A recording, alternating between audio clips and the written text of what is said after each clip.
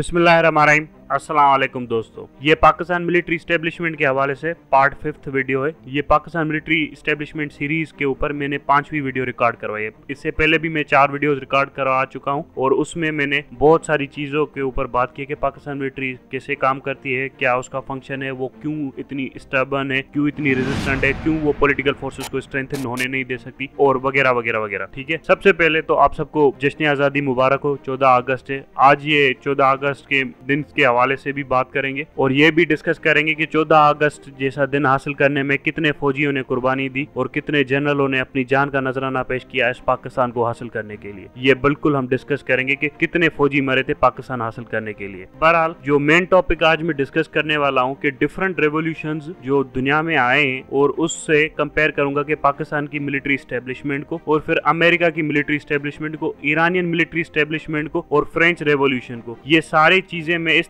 तरतीब से इसलिए डिस्कस करने जा रहा हूँ क्योंकि इससे हमें यह समझ में आ जाएगा कि पाकिस्तान की मिलिट्री स्टेब्लिशमेंट का थिंकिंग मॉडल क्या है और दुनिया की अदर मिलिट्री स्टेब्लिशमेंट का थिंकिंग मॉडल क्या है और इनमें से क्या कंक्लूजन हम ड्रा कर सकते हैं, जो कि हमें मदद करेंगे हमारी फ्यूचर प्लानिंग के हवाले से कि इस तरह की मिलिट्री स्टेब्लिशमेंट को कैसे कंट्रोल किया जा सकता है। सबसे पहले आते हैं कि जो पाकिस्तान की मिलिट्री स्टेब्लिशमेंट है, इसकी थिंकिंग इस वक्त वैसी ही है जैसे आपकी इजिप्शियन मिलिट्री की है या लिबिया की है। ये बिल्कुल उसी थिंकिंग पैटर्न के ऊपर चल रही है, क्योंकि इस वक्त under general Bajwa Pakistan military establishment Pakistan को मुकम्मल तौर पर इजिप्ट बना रही है। इजिप्ट में कोई भी डिसेंट वॉइस नहीं हो सकती। अमेरिका की इन्फ्लुएंस एक मिलिट्री डिक्टेटर बैठता है इजिप्ट के ऊपर और वो उसके अच्छे बुरे के तमाम फैसले करता है। फिर हमें पता है अनवर सादात, जमाल, ये सारे के जमाल नासिर, ये सारे के सारे किस तरह के फैसले करते आ रहे और इस वक्त जो अभी मुर्सी को जो इस वक्त जनरल सिसी ने सजा दी है तो जनरल सिसी कौन सा अच्छा और दूध का धुला हुआ है? वो भी एकदम करप्ट नालायक, नाहल किस्म का जनरल है। ना कभी जंगे लड़ी, ना कुछ किया। सिर्फ़ सियासत के लिए बैठा हुआ है और अरबों से तो पैसे लेता रहा है। और किस तरह से इजिप्ट में मीडिया कंट्रोल होता है कि जनरल सिसी के खिलाफ कोई बात नहीं होगी, जनरल सिसी को बड़ा बनाकर पेश किया जाएगा। जनरल सिसी बड़ा ठीक बंदा है, जनरल सिसी ये कर रहा है, वो कर रहा है। और इसी तरह से मुर्सी के खिलाफ बात होगी। मुर्सी गद्दार है ट्रेटर है अखवान मुसलमीन का बंदा है, ईरान का एजेंट है, ये है, वो है। हालाँकि मुर्सी ऐसा वैसा कुछ भी नहीं था। जो कुछ भी था, लेकिन इजिप्ट के लोगों के लिए बेहतर था। हालाँकि भली आप ये कह सकते हो कि उसके ईरानियन के साथ अच्छे ताल्लुकात थे, लेकिन वो इजिप्शियंस के साथ कभी भी गद्दारी नहीं करता। ये आप समझ ले कि कम्युनिस्ट चाइना भी था, रूस भी था, लेकिन फिर भी इन दोनों की आपस में नहीं बनती इसी तरह से सदर मुर्सी की और ईरानियों की भी बाद में नहीं बननी थी किसी भी पॉलिसीज़ के ऊपर। सो ये इसी तरह का इजिप्शियन मॉडल पाकिस्तान में अप्लाई किया गया है। अब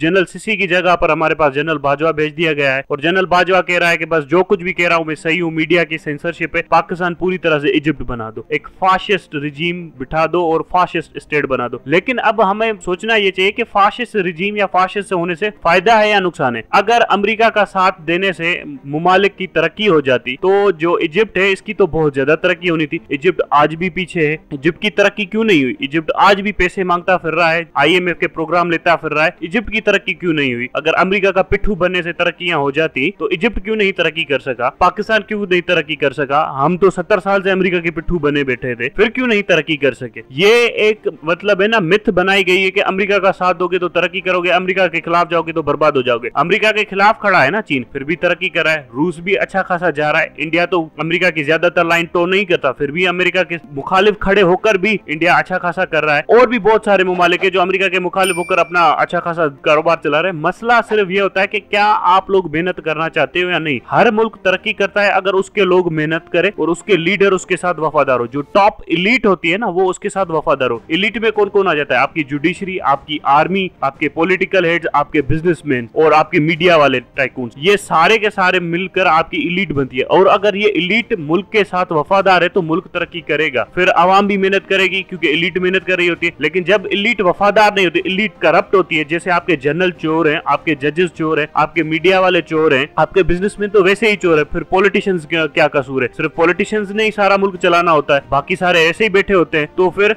यही होता है जो पाकिस्तान के साथ हो रहा है। अब सत्तर साल हो गए, पाकिस्तान पाकिस्तान की इकोनॉमी 300 बिलियन डॉलर मुश्किल पहुँची है। ये है हमारी इकोनॉमी। हम दो ट्रिलियन डॉलर की इकोनॉमी बनने का पोटेंशियल रखते हैं, लेकिन कोई भी फ़र्क नहीं पड़ा। क्या हुआ है हमारी इकोनॉमी को? अब कहते हैं कि सियासतदानों ने खराब किया। भाई, सत्तर साल से मुल्क फौज चला रही है। पैंतीस साल डायरेक्टली चलाया, पैंतीस साल इनडायरेक्टली चलाया। इस वक्त भी देखे, एक सिविलियन गवर्नमेंट है, लेकिन किसको नहीं पता की ये एक मिलिट्री गवर्नमेंट है, एक मार्शल गवर्नमेंट चल रही है पाकिस्तान में। सिविलियन तो सिर्फ़ नाम की गवर्नमेंट है ये। अब इसी मिलिट्री स्टेब्लिशमेंट को अमेरिकन मिलिट्री स्टेब्लिशमेंट के साथ कंपेयर करके देखते हैं। पेंटागोन वाले हो गए, ये हो गया। तो इनके साथ मसला क्या है कि क्यों अमेरिका में मार्शल लॉ नहीं लगती? क्यों अमेरिका में प्रेसिडेंट इतना पावरफुल माना जाता है? इसका सबसे बड़ी वजह यह है कि अमेरिका एक फौज पर डिपेंड ही नहीं करता। पेंटागोन एक अलग इंस्टीट्यूशन है, उनके नेशनल गार्ड एक अलग इंस्टीट्यूशन है, उनके पास और भी बहुत सारी सीक्रेट सर्विसेज़ है एफबीआई है स्टेट डिपार्टमेंट है, बहुत सारी सर्विसेज़ है उनके पास। इस वजह से अमेरिकन प्रेसिडेंट या अमेरिकन डेमोक्रेटिक सिस्टम एक इंस्टीट्यूशन पे रिलाई नहीं करता, उसके पास मल्टीपल ऑप्शन अवेलेबल होते हैं। और सबसे अच्छी चीज़ जो होती है, वहाँ पर अकाउंटेबिलिटी है चेक होता है। उनके कितने सारे जनरल्स को सेनेट के सामने बैठकर ब्रीफिंग देनी पड़ी है। हम सबने देखा है अफ़गानिस्तान के बाद उनके जनरल्स की कैसे सेनेटर्स ने क्लास लगा दी कि तुम लोग क्या कर रहे थे, तुम लोग ये कर रहे थे, वो कर रहे थे। कितनी अच्छी खासी क्लास लगाई है उनके जनरल्स की, उनके सेनेटर्स ने। सो अकाउंटेबिलिटी है वहाँ पर। यहाँ पर कौन सी अकाउंटेबिलिटी है? जब भी फौज से पूछोगे, तुम्हारी अकाउंटेबिलिटी करनी है? नहीं, हमारे अंदर इंटरनल सिस्टम है। कौन सा इंटरनल सिस्टम कैसा इंटरनल सिस्टम तुम्हें जवाब देना पड़ेगा पार्लियामेंट के सामने। इंटरनल सिस्टम है हम खुद अपनी अकाउंटेबिलिटी करेंगे। कौन सी सेल्फ अकाउंटेबिलिटी कहाँ पर ये निज़ाम चलता है कि सेल्फ अकाउंटेबिलिटी से हम हमें सेल्फ अकाउंटेबिलिटी पे रहने दो। हमसे कोई ना पूछे, पार्लियामेंट हमारे ऊपर कोई भी कानून पास ना करे, पार्लियामेंट हमसे कुछ भी ना पूछे। ये सारा ड्रामा सारा का सारा ड्रामा सारे जनरलों का दिमाग खराब ही इसी बात से हुआ है कि इनके अकाउंटेबिलिटी नहीं है। पार्लियामेंट के सामने ये आते ही नहीं है। वरना अगर पार्लियामेंट के सामने आए तो इनके सारे कच्चे चिट्ठे खुल जाए कि कौन जनरल कितना करप्ट है, ये क्या काला मुँह करके बैठे हुए हैं और इन जनरल की पोजीशन क्या है? सब कुछ छुपा के बैठे हुए हैं अपना। मीडिया के सामने भी नहीं बताते। वरना पाकिस्तानियों को तो अच्छी तरह से पता चल जाए कि ये जनरल कितना बुजदिल है, ये जनरल कितना माल खाऊ है, इसके पास कितने प्लाट है, और कौन सा जनरल है जो लड़ने वाला जनरल है। फिर पाकिस्तान अच्छी तरह से छांडी कर सकता है कि कौन से जनरल को रखना है, कौन से जनरलों को निकालना है। अमेरिका में एक और सबसे अच्छी चीज़ है की